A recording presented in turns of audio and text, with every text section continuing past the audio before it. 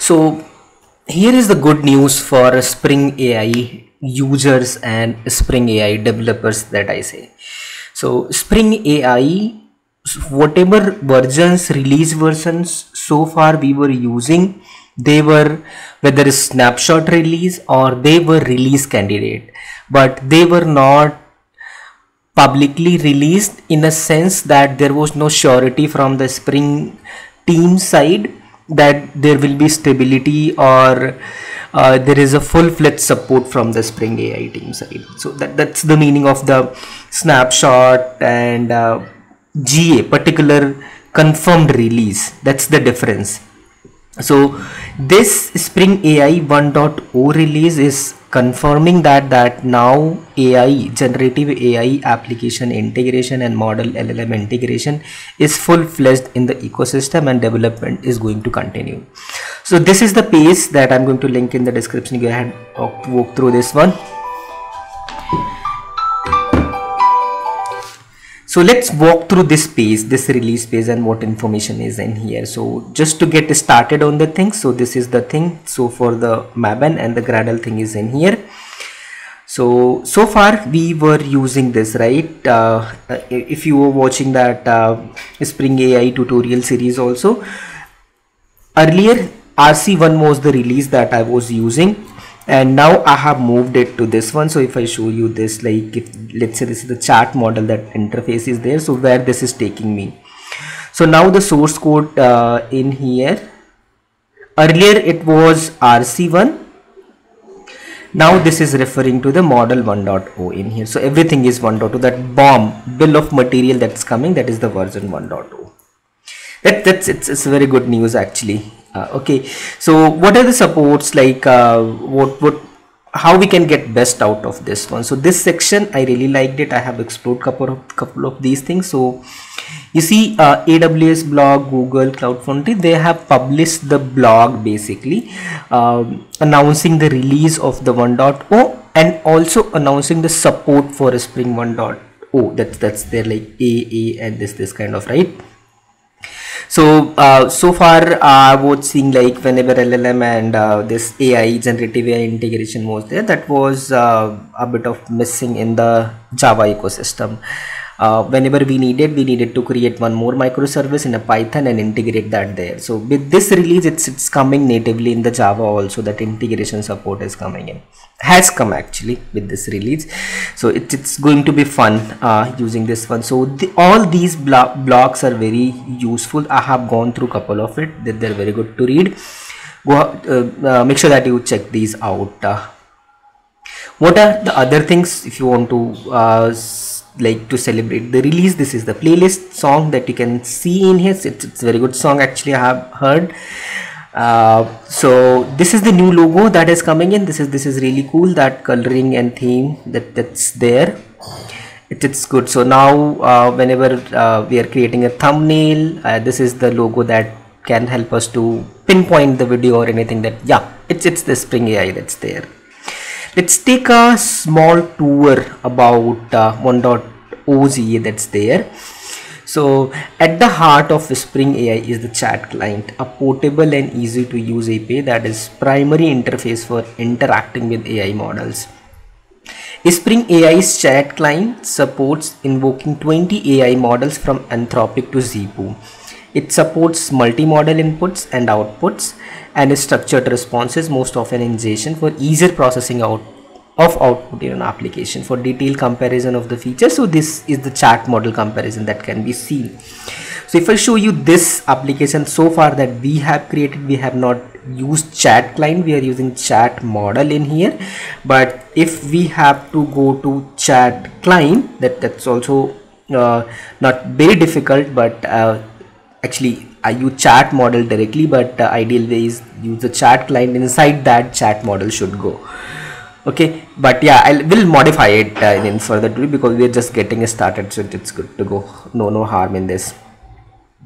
What are the prompts that's there? Creating the right prompts what you pass to the model is an important skill. There are several patterns to get the most out of the AI models to get the best results. The augmented LLM what is this? How a real world AI application go beyond simple request response interaction with a stateless AI model to build effective AI application, there is a supporting cast of features is essential. This is where the concept of augmented LLM depicted below. So this is there. So this is the llm this is our request and this is output. But whenever we are sending the llm uh, you know llms are trained at a particular date particular data. So they are uh, missing some domain specific data or real time data. That's what we have to pass this on. That's what we have to give it to the llm that's what it is doing different tooling calls memory retrieval whatever what not we can do with this also. We are supporting this llm with the latest information and uh, uh, making it more powerful. Advisors key features of spring ai chat client is the advisor api this is an interceptor chain that allows you to modify the ingoing prompt by injecting retrieve data and conversation memory. So it's, it's like a interceptor or filter that we use. So advisors are in this ai word that that's going to play the role in here. Retrieval at the heart of retrieving data in ai application is a database and vector database. Particularly uh, vector databases in particular are the most common for this purpose. Spring ai provides a, provides a portable vector store abstraction that supports 20 different vector databases uh, for Azure Cosmos DBs to BB8. So there are so many available. There are many options available. In the last video, we saw the embedded vector actually. So that's that's embedded uh, in memory database. So in future, uh, we are going to experiment with other databases also. Immediately, that that's going to come very soon. A common challenge working with these databases is that each has its own unique query language for metadata filtering. Spring AI solves this with a portable filter expression language that uses a familiar SQL-like syntax. If you uh, if you if you every if you ever reach this limits of this abstraction you can fall back to the native queries. So if, if it's like not supporting so native query is always there but spring uh, expression language is there too for, for most of the tasks that's there. So a lot of things is there in the retrieval part when where it comes to the database and other things so more you can read it about it but the reference documentation this is the, just the summary part that's there Memory is that thing conversational history is an essential ingredient in creating an AI chat application. Spring AI supports this with the chat memory interface like the chat client there is the chat memory which manages the storing and retrieving of the messages. The message window chat memory implementation maintains the last n messages in sliding windows and updating itself as the conversation progresses it delegates to chat memory repository and we currently the and we currently provide repository implementation for JDBC, Cassandra, Neo4j and more on the way. Like the way that we have a CRUD repository, chat memory repository is there that we are going to experiment in some time coming. An alternative is to use the vector store chat memory advisor instead of just remembering the most recent messages. It uses vector search to retrieve the most semantically similar messages from the past conversation. This is the section to explore more. So it's going to be more uh, like interesting uh, digging into the actual documentation and getting the working example Tools, Spring AI makes it easy to extend what models can do through tools, custom functions that let AI retrieve external information or take real world action. Tool calling, also referred to as function calling, was first widely introduced by OpenAI in June 2023 with the release of their function calling feature in the GPT-4 and GPT-3.5 turbo models. Tools can fetch current weather query databases or return the latest news whatever functionality that we have given them. Helping models answer questions beyond their training data. They can also trigger workflows send emails or update systems turning the model into an active participant in your application. Defining tools it's simple. Use the at the root tool annotation uh, for declarative method register bean dynamically with at the rate bean or create them programmatically for full control the evaluation how it is coming into picture. So using this technology to create an application is fun and is all fun and games but how do you know it is working? So unfortunately it isn't that straightforward as writing traditional unit or integration testing.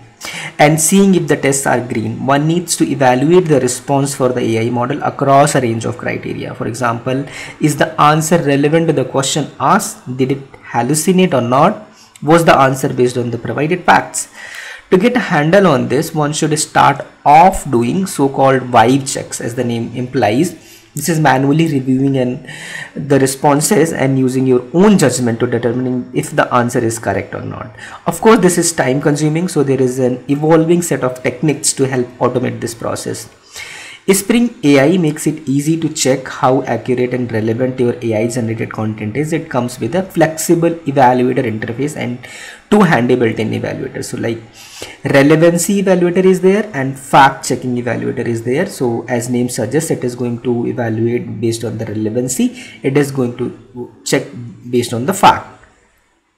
So this is uh, also they are available but this is not the silver bullet. As uh, lead maintainer of the hugging face open llm they said uh, llm as judge are not a silver bullet. In her interview on the latent space she like he uh, she outlines key issues. Mode collapse mood mode collapse and positional biases verbose bias poor at scoring and overconfidence bias is there. Next section that spring ai has is the observability. My favorite in any of the software that we build observability must be there. When you are running ai in production you need more than hope and good vibes. You need observability. Spring ai makes it easy to observe what your models are doing how they are performing and what and what it's all costing you. Spring ai integrates with micrometer that is the observability framework to provide detailed telemetry uh, on key matrices like model latency how time how much time it is taking token usage tool calls and retrievals. You can also get the tracing support via micrometer tracing with the span for each major step in a model. And uh, actuator end endpoint is also there that you can get more details around the token usage and all that. Next big thing is the model context protocol. Mod model context protocol that is mcp came on the scene in november of 2024 it took off like wildfire because it provides a standardized way for AI models to interact with external tools, prompts and resources. MCP is a client server oriented protocol and once you build an MCC, MCP server you can easily adopt it in your application no matter what programming languages the MCP server was written in or what programming language the MCP client is written in there are two main components client and server in MCP this has really taken off in the tool space though MCP isn't limited to tools. Now you can use out of the box MCP server for a specific functionality like, uh, like interacting with GitHub without having to write that code yourself.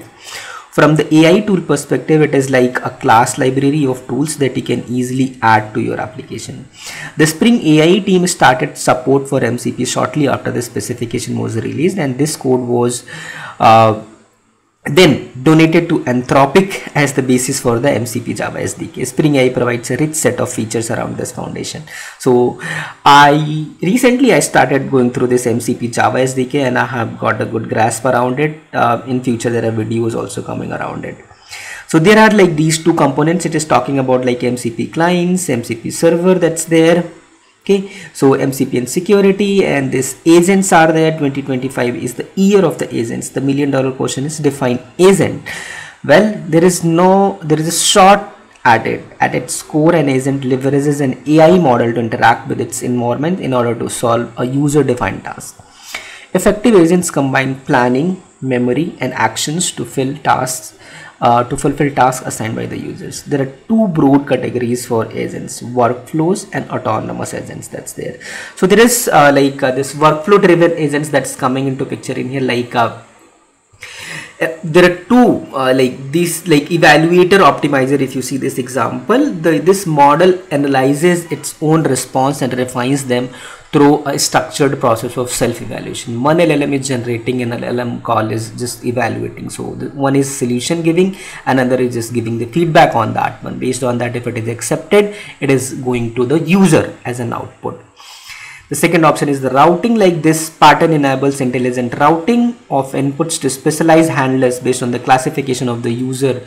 So let's say user is asking question in different languages and our interface is language agnostic. So the routing model can say that which language it is based on that language that can uh, be routed to a specific uh, language model that can answer that one. That's the realistic example then orchestrator. Worker is there chaining is there parallelization is there. Autonomously driven agent are there in here and then Tanzu AI so that that concludes this uh, release note. So I wanted to read this out because this is the first GA release that that's going to be there and going to be the foundation for uh, AI and Spring applications basically whatever we are building. So yeah this is the series that's about uh, Spring AI a lot of videos are on the way that I'm building as I get the time around it. So yeah I hope you found this useful. If I'm if you have not subscribed the channel please do subscribe the channel. I'll see you in the next one. Till then take care. Bye bye